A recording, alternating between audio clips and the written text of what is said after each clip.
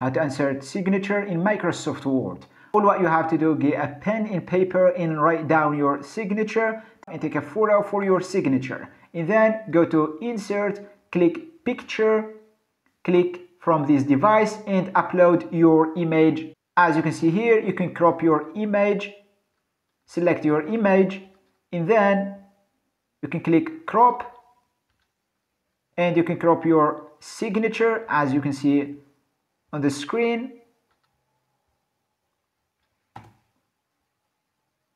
And there you have it. For more tutorials smash the like button and subscribe